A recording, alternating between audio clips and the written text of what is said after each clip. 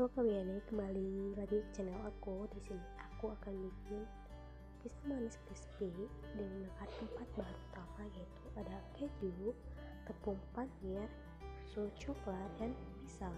Yang pertama kita taruh tepung panir ke dalam tempat atau piring seperti yang saya gunakan.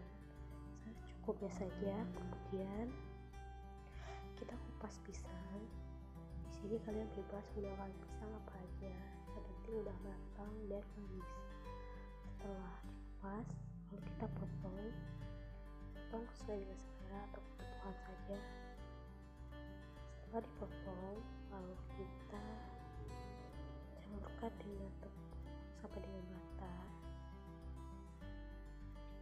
gunanya tepung ini yaitu untuk crispy di pisangnya tersebut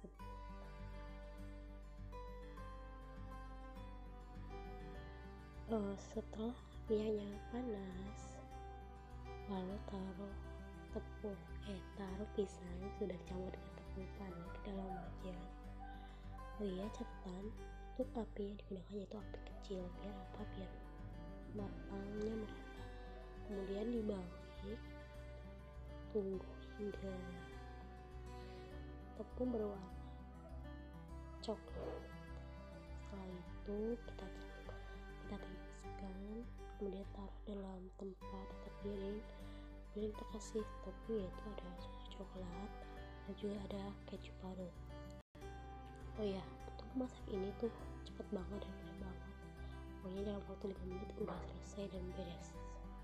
Siap santai